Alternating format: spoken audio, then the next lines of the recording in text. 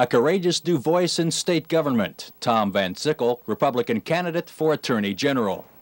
In the last 10 years, the number of inmates in Kansas prisons was reduced by 50 percent. Serious crime in Kansas increased over 200 percent. Too many times, criminals receive suspended sentences.